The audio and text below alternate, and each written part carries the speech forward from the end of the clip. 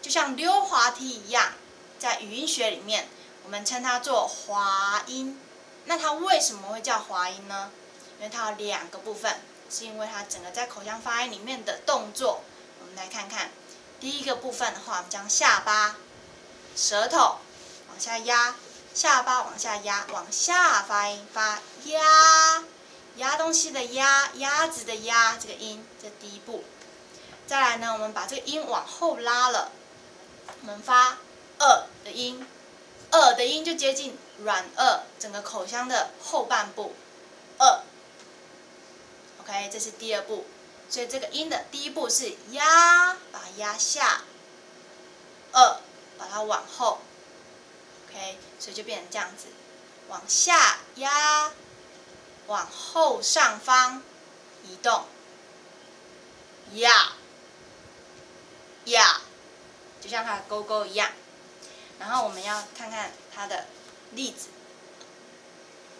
Yuck，yuck，yuck。以上就是子音的部分，我们接下来练习母音的部分。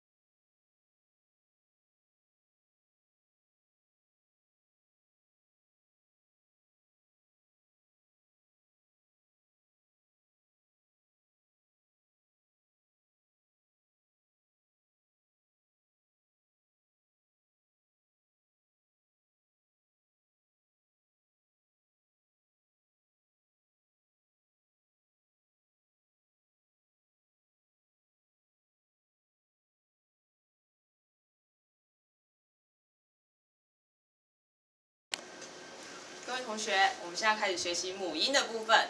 在我们开始学习之前，请大家跟我做四个简单的口部运动。第一个，嘴巴上下张开，啊啊。第二个，嘴巴向左右伸展，一一。第三个，嘴巴缩起来，像圆弧形一样，呜呜。第四个。嘴巴向外伸展到最大，哎哎，都会了吗？这四个动作可以帮助我们学习等一下学习的母音哦。接下来我们看第一个母音，e。各位同学，如果我们生病了，要怎么办呢？没错，我们要去看医生，对不对？这个这个母音呢，就是医生的 e，它是长颈母音。首先，我们把嘴巴向外、左右向左右伸展开来，露出牙齿，舌头在前面上方的位置。一，一，记忆的秘诀是，你看它这里有一点，对不对？看到这一点，就要记得它是发长音，所以我们要把尾音拉长。一，一，我们来看一下它的例子。key，key，好，我们把它放在这里，因为它舌头是在上方前面的位置。一，我们看第二个母音，是不是长得很像呢？可是看好哦，它这里没有那一点，所以它是发短音，它是短松母音。一，一，请跟我一起把嘴巴也是一样，向左右伸展开来。舌头稍微往后挪一点，一，一，我们来看一下它的例子。six，six，我们放在长音一的下方，因为代表它的舌头比较往后挪，比较下来一点，一，一，接下来我们看第三个母音。这看起来是不是很像我们上网的那个一呢？它也是英英文字母的一，但是它不念一，它念 a a。看它有，看我们这边的形状，是不是它会连起来？它是没有，这边是没有开口的，所以要记得我们的嘴巴最后面要合起来。首先，先把嘴巴上下拉开，发 a 的音。再来左嘴巴向左右伸展，牙齿并拢，发 e e，将这两个音合在一起，a a，再连起来一点，a a。我们来看一下它的例子，day day，好。我们把它放在这里，因为它的舌头是在中间的位置，稍微偏下。a a，我们再来看第四个母音，我们仔细看一下这个母音的形状，它是不是有一个开口？朝左的开口，像是我们数字倒三，把三倒过来写，要记住哦，它有开口，所以我们的嘴巴不能够合起来，把嘴巴微微张开，发一个短音。哎，哎，舌头在前面中下方的位置。哎，哎，我们来看一下它的例子。air，air，好，我们放在 a 的下方。再来，这个母音呢，看起来是它它它的名字叫做蝴蝶音。为什么叫蝴蝶音呢？仔细看一下它的形状。它是很对称的两边，是不是很像蝴蝶的翅膀呢？所以我们叫它是蝴蝶音。这个音要怎么发呢？其实很简单，首先把我们的嘴巴跟它的形状一样，往外整个伸展开来到最大，舌头向下施力压，哎，哎，我们看一下它的例子乌拉，乌拉。要记住，舌头在最底下的部分要吃力，将下巴往下压，哎，哎，好，我们将它放在哎的下方。我们复习一次，有看到这一点，所以要发长音，e，e，没有这一点的呢，发短音，e，e，舌头向后挪，i。一，第三个，它没有缝隙，是合起来的，所以是 a a，有开口的短音，嘴巴不合，a a，蝴蝶音，蝴蝶母音，嘴巴整个向外伸展到最大，舌头向下压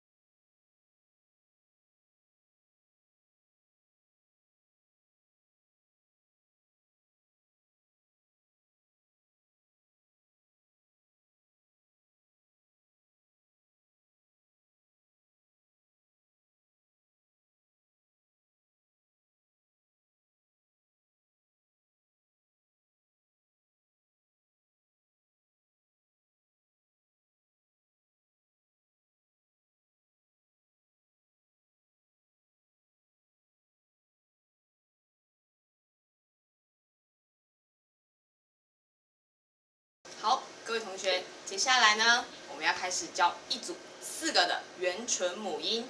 圆唇母音，顾名思义，就是要把你的嘴唇变成跟圆形一样，像我这样哦，嘟起来。好，我们看第一个母音，先注意一下它的音标的形状。你们看到这里有一个尾巴，有尾巴拉出去，所以我们要念长音，它是一个长颈母音。把你的嘴巴向内缩紧。然后气流呢从嘴巴中间的小洞流出，呜呜，舌头往后伸，在上方的位置，呜呜。我们看一下它的例子，moved moved。好，我们把它放在这里，因为它的舌头，我们的舌头是在后方上面的位置。看到尾巴，记得发长音，呜呜。好，第二个，我们看一下它的音标符号是不是没有了？尾巴是不是不见了？所以呢，它发短音，它是一个短松母音，嘴巴稍微也是一样向内缩，但是稍微放松，发一个短音，舌头下降一点点，其实在后面哦，不要忘了，跟我发一次，不。不，我们来看一下它的它的例子。不，不，好，我们现在把它放在“呜”的下面，因为它的舌头稍微下降，嘴巴放松。不，不，我们看第三个母音，有没有看到它长得是不是跟数字零一样呢？但它不念零哦，它念。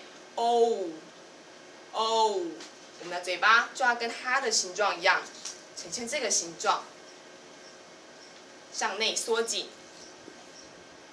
哦，哦，先把嘴巴张开，发一个哦的音，也是呈像呃塞馒头一样，嘴巴里面塞了一个馒头，中间微微张开，哦，哦，最后。合起来，呜，呜，再把两个音合在一起，哦，哦，会了吗？好，那我们就看一下它的例例子。哦哦 I see. 哦 I see. 哦 I see. 好，我们放在呜的下面。再来第四个例子。看它是不是有一个开口呢？看到这个开口，就表示我们的嘴巴不可以完全合起来哦，缝隙要留大一点，像里面塞馒头一样。哦，哦，对，就是这么简单。哦，哦，看一下它的例子。w a r w a r。好，我们就把它放在 o 的下面，因为它的舌头呢，已经。往下挪，哦，哦，好，圆唇母音结束了，我们再来是要看三个很有趣的母音哦。看，像不像小豆芽？可是它是英文字母的 A，可是它不念 A，它念啊啊，嘴巴上下拉开，发出尖叫声啊啊。我们来看一下。它的例子，dark，dark，好，我们把啊放在这里。为什么放在这里呢？因为它的舌头向下，下巴稍微施力向下压，啊，啊，好。第二个，它叫打嗝母音。当我们吃很饱的时候。总是会有一股冲动，想呃呃会打嗝，所以呢，打嗝母音其实很简单，把嘴巴张开一点点，发出打嗝声，呃呃，就是这么简单。看一下它的例子，Venus，Venus，好，我们放在这里，然后。第三个母音是金字塔母音，它的形状就跟金字塔一样。看到这个顶点呢，就要想到它的音比较高一点，然后舌头往后挪到软腭部分。它的音是介于啊跟呃之间。然后我们先发一个啊，再发一个呃，然后跟着我念一次。我们看一下它的例子，ton，ton，我们放在这里。我们复习一次，有尾巴的呜是念长音，所以念呜呜。没有尾巴的呢，念短促音，呜呜。全部合在一起的，嘴巴要由开到合，哦哦。有开口的，嘴巴像塞馒头一样，不可以合在一起，哦。哦，英文字母 A 不念 A，念啊，嘴巴上下拉开，啊啊，打嗝母音，打嗝声，呃呃，金字塔母音介于啊跟呃之间，所以是啊。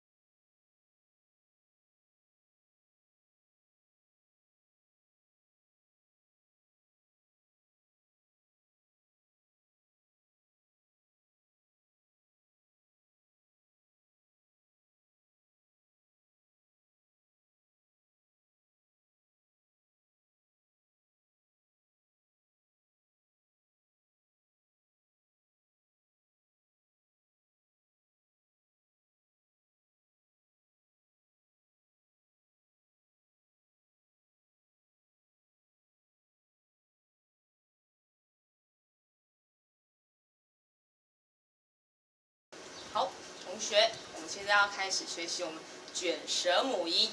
什么是卷舌